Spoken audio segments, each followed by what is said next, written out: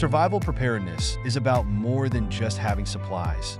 It's about having a solid plan. Today, we're diving into the PACE plan, a crucial strategy to enhance your survival readiness. PACE stands for primary, alternate, contingency, and emergency.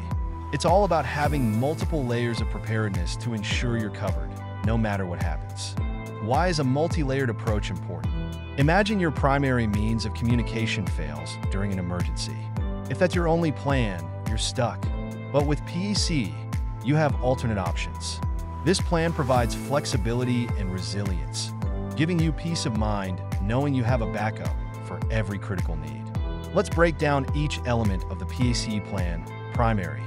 This is your first choice, the best and most reliable option. For communication, it might be a cell phone or a landline. For shelter, it could be your home or a trusted friend's house. Alternate. If the primary fails, you need a backup. This could be a satellite phone or two-way radios if we're talking communication. For shelter, maybe a well-stocked cabin or a community center. Contingency, this is the third line of defense. It's less convenient, but still workable. You might use signal flares or handwritten notes for communication, or consider staying with a less familiar friend, or setting up a tent as a shelter. Emergency, the last resort. When all else fails, what's your plan? This could involve personal messengers for communication or an improvised shelter in a secluded spot. It's the ultimate fallback plan when things don't go as expected. Now, how do you apply this in real-life scenarios? Think of it as creating a safety net for your most basic needs.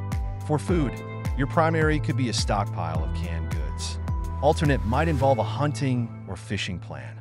Contingency could mean foraging for wild edibles. An emergency might be scavenging when resources are scarce. Each need, whether it's water, shelter, or security, should have a PACE plan. Having a plan is great, but it's not enough. You need to maintain and update it regularly. Check your supplies, test your communication methods, and make sure all your gear is in good working order. Stay informed about new threats and adapt your plan as needed. The world changes, and so should your preparedness strategies. In conclusion, a comprehensive PACE plan is essential for any serious survivalist. It's about more than just reacting to emergencies. It's about anticipating them and having a structured plan for every scenario. Start planning today, review your plan regularly, and stay prepared for anything life throws your way. Remember, survival isn't just about enduring, it's about thriving in any situation.